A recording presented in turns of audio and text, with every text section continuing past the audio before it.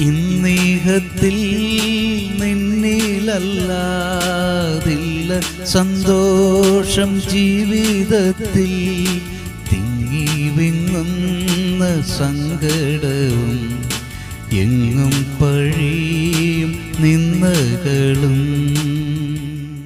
സഭാപ്രസംഗി രണ്ട് ഇരുപത്തിയാറ്. തനിക്ക് പ്രസാദമുള്ള മനുഷ്യന് ദൈവം ജ്ഞാനവും അറിവും സന്തോഷവും കൊടുക്കുന്നു. സന്തോഷം ആഗ്രഹിക്കാത്തവരായി ആരുണ്ട്?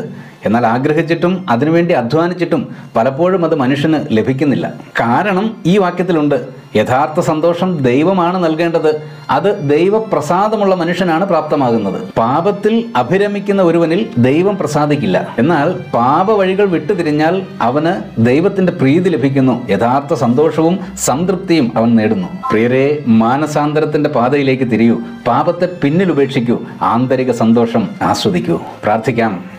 പ്രിയ പിതാവേ പാപത്തിന്റെ അഗാധ ഗർത്തങ്ങളിൽ വീണു പോകുന്ന ഞങ്ങളുടെ സ്നേഹിതരെ ഓർക്കണമേ. മാനസാന്തരത്തിന്റെയും ദൈവിക സന്തോഷത്തിന്റെയും അനുഭവം അവർക്ക് നൽകണമേ. ക്രിസ്തുവേശുവിന്റെ ധന്യനാമത്തിൽ തന്നെ. അമേൻ